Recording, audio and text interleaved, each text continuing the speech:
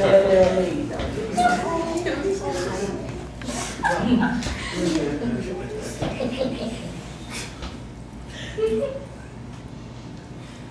Sister, you remind me of me sometimes. Mm.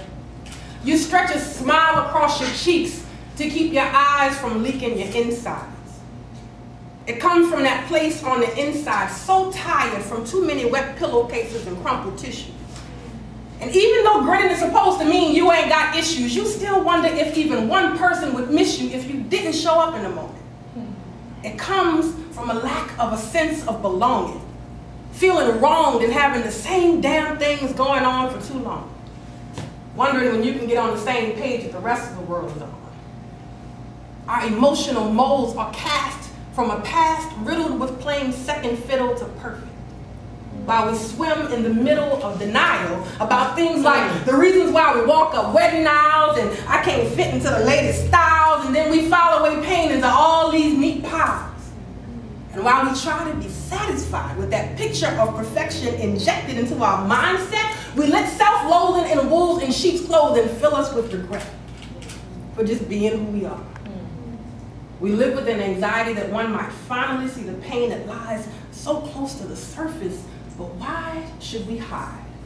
Because the very ones of us that seem so cool, calm, and laid back may in fact be the very ones contemplating suicide. Mm. Maybe even tried it once or twice. Mm. And trust me, that the ones that succeeded were the ones that needed to get answers but never found them. Succeeded because they fooled everyone around them with smiles. I'd rather see you frowning than to have to place your body in the ground.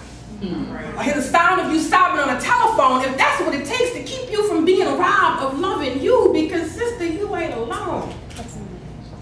I may not have all the answers or a perfect ending, but the message I'm sending is this. I've been in the skin you in because we, we are women.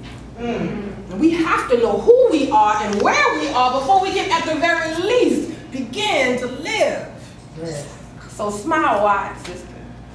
When the smile you give is from living.